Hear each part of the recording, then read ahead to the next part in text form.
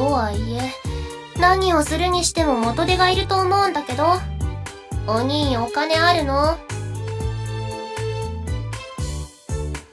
うーん。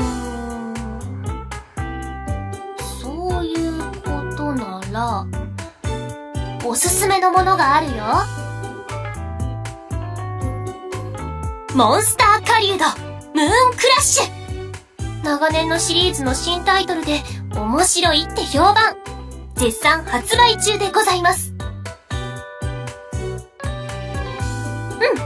ん。あー、でも、なあちゃん一人だと困るかなとなると、私も一緒に遊んだ方がいいね。